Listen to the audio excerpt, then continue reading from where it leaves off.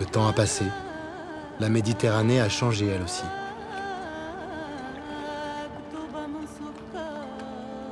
On pêche encore la sardine, mais le poisson se fait plus rare.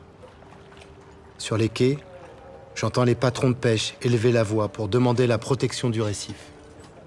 Les corailleurs ont épuisé le corail.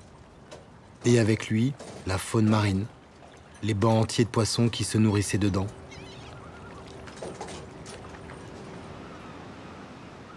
L'Algérie est ouverte sur la mer, mais le pays n'est pas encore une nation maritime. Peu de grands armements et beaucoup de pêche côtière. Comme dans toute la Méditerranée, les pêcheurs râlent sur le poisson qui manque, les voisins qui pillent les ressources et le marché qui ne paye pas assez.